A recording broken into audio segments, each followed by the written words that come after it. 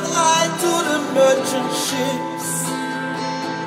Minutes after they took I from the bottomless pit, but my hand was made strong by the hand of the Almighty.